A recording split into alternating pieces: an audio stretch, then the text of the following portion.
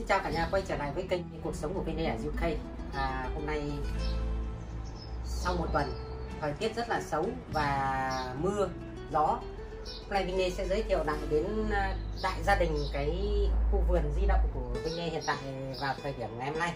Đó là ngày mùng 8 tháng 6 Ngày hôm nay luôn nhé, Vinh quay clip này là quay, quay trực tiếp của ngày hôm nay luôn. Để à, chia sẻ với mọi người cái vườn rau di động của Vinh Lê hiện tại đang à, lớn lên từng ngày. Bằng hình thức Vinh Lê làm di động. Rất nhiều à, người nhắn tin trên à, YouTube nói về Vinh Lê chia sẻ về cái cách thức là lý do tại sao vườn đất rộng mà mình lại không làm bằng cái hình thức trồng trong đất. À, bởi vì cái lý do đó thì Vinh Lê làm cái clip này giới thiệu cho mọi người cái hình thức Vinh Lê làm di động. Bởi vì cái thời tiết ở Anh Quốc và một số nước châu Âu nó không được như các nước như Mỹ hoặc là Úc. Thời tiết nó nắng nóng đẹp. Anh Quốc có thể hôm nay như mọi người thấy đây trời rất nắng như thế này thôi. Nhưng mà đêm nay nó lại đang từ 25 độ C trở xuống thành 14 và 13 thậm chí luôn. Buổi tối có sương mù và rất là lạnh. Nếu mà mình trồng theo hình thức dâm ra vườn và đóng khung như các uh, các nơi mà người ta chia sẻ cách làm vườn thì cái của Vinay hoàn toàn khác biệt hết. Bởi vì Vinh Lê cũng tham khảo qua rồi. Không có một cái trường hợp nào mà làm vườn tại gia mà giống hình thức như của Vinh Lê nhưng mà khẳng định ở Anh Quốc, Vinh Lê chia sẻ với mọi người, Vinh Lê sẽ làm 98% rau của Việt Nam mình đều lên tốt và mọc lên có được thu hoạch. 98% đó, bây giờ giới thiệu qua cho mọi người những hình thức như thế này. Chẳng hạn như cây mướp như thế này thôi nếu mà thời tiết Anh Quốc mà mình sẽ trồng ra đất ngay lập tức thì mình sẽ không bao giờ có cái ngày để mà thu hoạch được quả được trái. Ờ, à, nên em phải trồng bằng cái chậu như thế này. Đó cả nhà nhìn thấy. Hiện tại thời tiết chưa đẹp bên nên vẫn để trong uh, có mái che nhé nơi có mái che nhé cả nhà nhé. À, và Vinh Lê trồng theo hai hình thức. Một lửa số cây cho vào trong chậu một lửa số cây là mình sẽ trồng ra trực tiếp ra đất. Bởi vì à, cái vườn rau di động của Vinh Lê 98% là rau trong chậu và bồn. Đó. Để như thế này khi mà thời tiết xấu mình có thể mình bê vào được. Trừ khi mà nó lên dàn rồi thì lúc đó mưa một chút không sao. Thì à, đó như mọi người à, thấy. Một cách thứ hai nữa của tất cả các chậu và bồn Vinh Lê trồng. Không hề đục lỗ nhé cả nhà nhé. Thực ra mà nói là chậu nó có lỗ ở dưới dưới trước khi mình mua về mua về là nó có cái để đục lỗ ở dưới như thế này. Nhưng mà Vinh đây cứ để nguyên cho, để nguyên bản thôi, không có không có chọc lỗ nhé cả nhà nhé. Để khi mình tưới, mình căn được lượng nước, nếu mà mình chọc lỗ ra thì mọi người nghĩ là nó phải có cái chỗ thoát nước thôi, nhưng mà khi mình tưới nước vào thì nó sẽ ngấm chảy ra ngoài hết. Nó chỉ có hữu ích nhất khi mà trời mưa to, mình để ngoài thì cái lỗ nó có có hữu ích là nó chảy nước ra ngoài thôi. Còn Vinh Lê toàn bộ trong cái khu vườn nhà Vinh Lê không có cái thùng nào Vinh Lê đục lỗ. Đấy là cái cách chia sẻ riêng của Vinh Lê về làm vườn. Bao nhiêu năm nay Vinh Lê cũng trồng qua và kinh nghiệm. Mình cắt được nước mình cho vào thì không cần gì phải à, đục lỗ bởi vì cũng có một số người thắc mắc là tại sao chia sẻ cách như nào mà không đục lỗ. Thì tất cả mọi cái hơn 300 cái thùng chậu của Vinh Lê tại vườn bây giờ là không có một cái nào có đục lỗ cả nhà nhé. À, giềng đây nhá. Năm ngoái nó nụi hết và bắt đầu năm nay đang mọc trở lại. Đó mọi người nhìn thấy giềng đấy. Và dưới này Vinh Lê bới ra nhìn thấy rất là nhiều mầm đang mọc cho cả nhà xem luôn. Đó cả nhà nhìn thấy không? Đấy là cách à, Vinh Lê để giữ qua mùa đông. Nhìn mọi người nhìn thấy mầm giềng đang lên nhé rất là tốt. Đó mình lại phủ lại như này. Và cái à, đây nữa.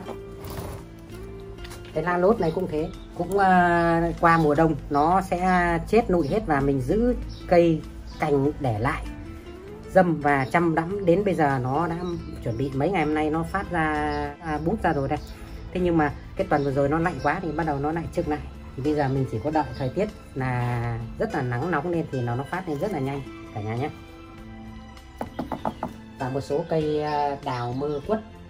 Chanh chanh thì đúng giới thiệu qua các clip trước rồi. Thì mình cầm từ hàng sách tay từ Việt Nam còn một số cây đào cam mơ mận này là bên đây cũng mua ở đây thôi. Nhưng mà mua từ lúc nhỏ mình về mình chăm. Chứ không phải người ta có bán sẵn như này là mình về mình chỉ việc ăn trái đâu.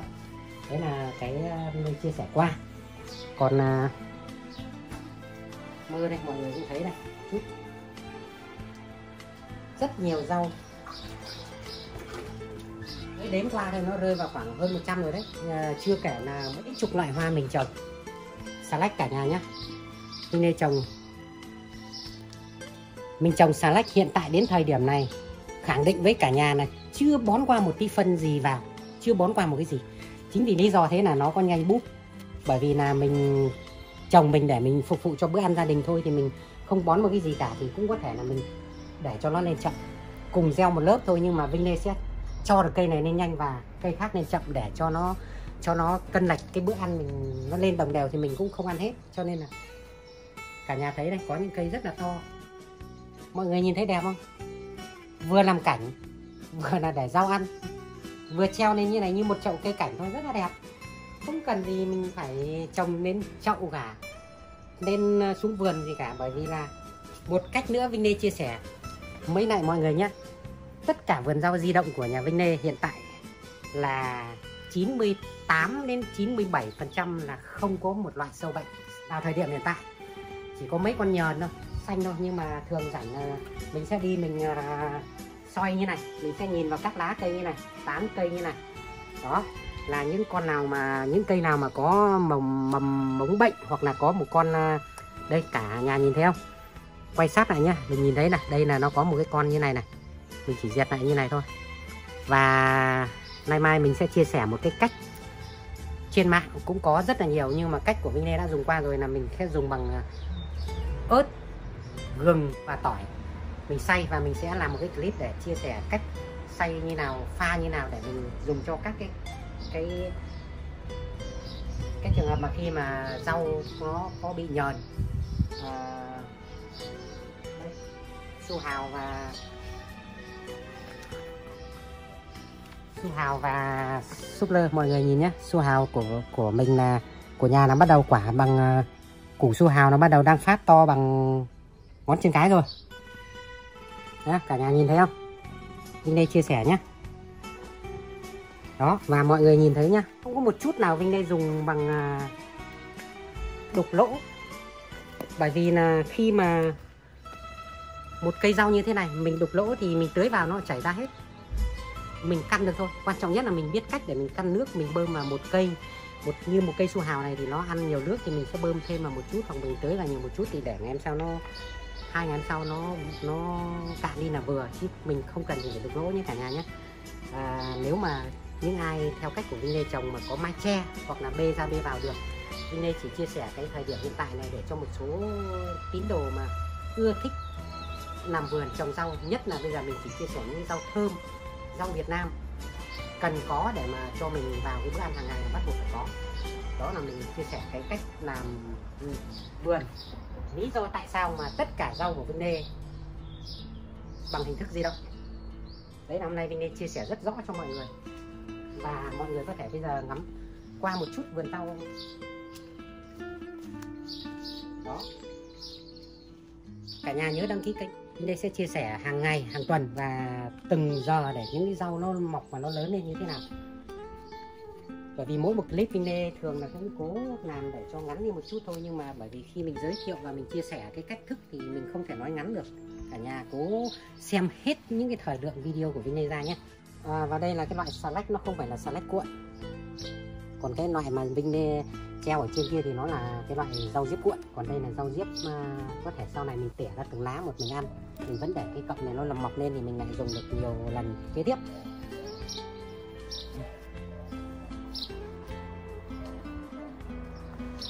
Bầu bí dưa leo, cải à, đắng, cải thảo, đậu Hà Lan, tỏi, hành, cần tây, diếp cá diếp cá cũng từ năm ngoái nha cả nhà nhé bên đây đang khôi phục lại.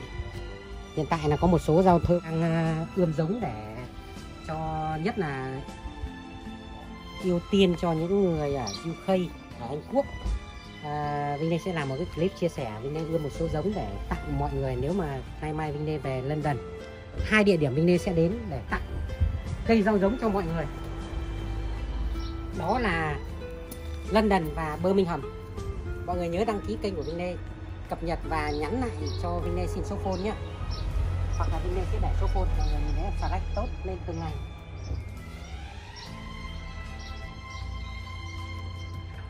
Và đây nữa cái cây này rất là khó trồng, đó là húng quế. Hiện tại Vinh Lê phải ươm đến lần thứ hai và lần thứ ba bây giờ cũng ra rồi. Lần đầu thì coi như bỏ, bởi vì lúc ấy mới phong tỏa nó còn lạnh quá, không thể nào lên được. Và bây giờ nó đã như này rồi thì chỉ trong vòng một tuần đến 10 ngày đến hai tuần là mình có thể là ăn được rồi. Nhưng mà Vinh Lê trồng theo cách bằng à, tự nhiên, organic, không tưới một cái gì để cho nó lên tự nhiên thôi. Chứ nếu bây giờ mình cho một chút phân đạm vào nhé cả nhà thấy không? Ngày mai, ngày kia nó sẽ lớn lên khác hẳn nhé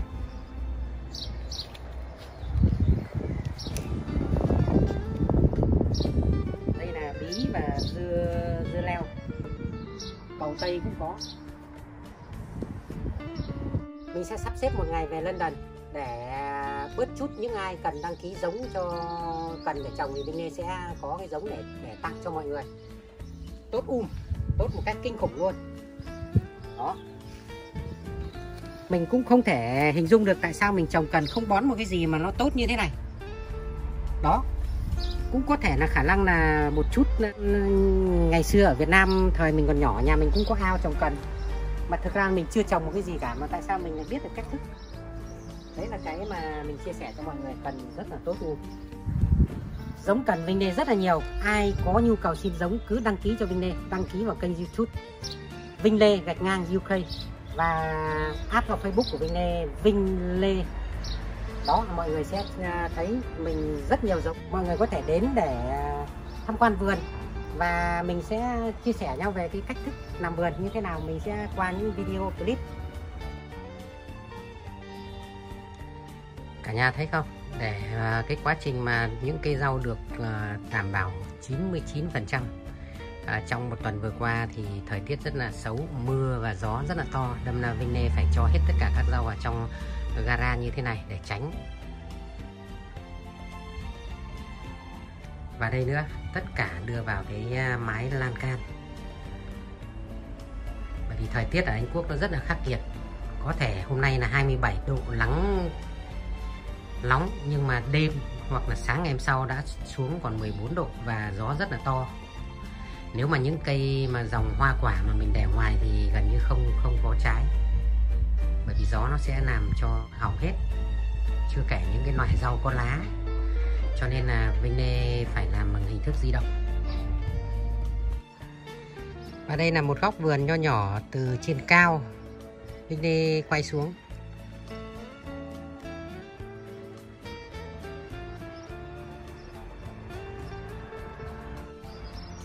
Tất cả các loại rau đã được lớn lên từng ngày.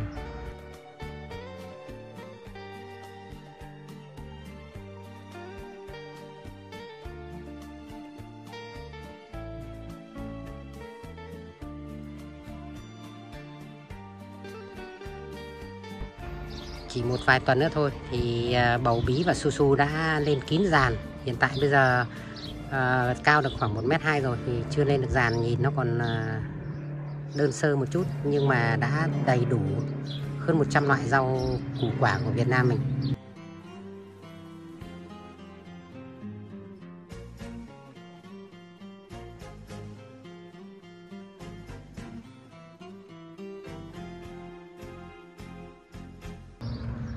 Mô hình à, vườn rau di động này, Vinh Lê khẳng định là chưa mấy có ai làm theo mô hình của Vinh Lê Với cái thời tiết ở Anh Quốc, nắng mưa thất thường, chẳng hạn như tuần trước nắng 25 độ, tuần này giảm xuống 14 và mưa và gió. Tức nếu mà mình không làm theo như này để Vinh Lê bê ra bê vào hàng ngày thì không có một cái loại rau nào lên được, chỉ trừ một số rau nó ưa thời tiết lạnh thì chúng mới chịu được thôi. Như mọi người thấy, tất cả các cái rau Việt Nam mình không dễ gì để thích nghi với lại cái thời tiết nó lạnh và nó thay đổi hàng ngày. Nhất là gió, cái mô hình làm như này để mình tránh gió bởi vì khi rau đang lên mà gặp phải gió to thì những cái gốc cây nó sẽ lung nay và nó chuột hết.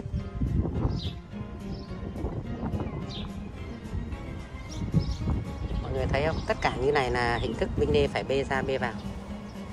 Khi mà thời tiết xấu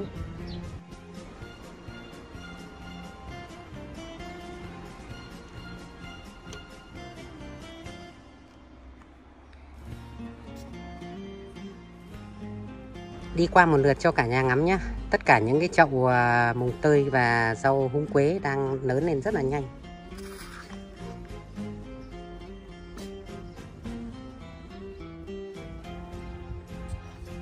Không thiếu một loại giống gì Vinh Lê đang à, ươm.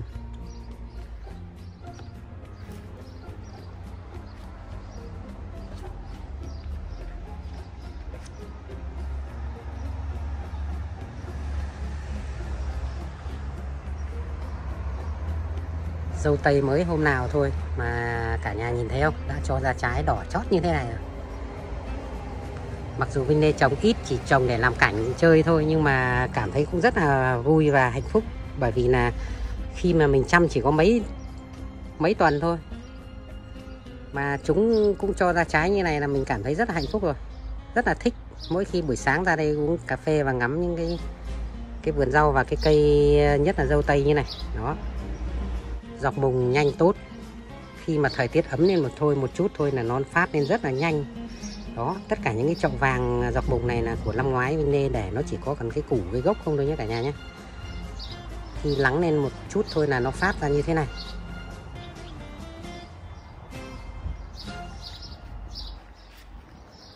Xả này cũng thế.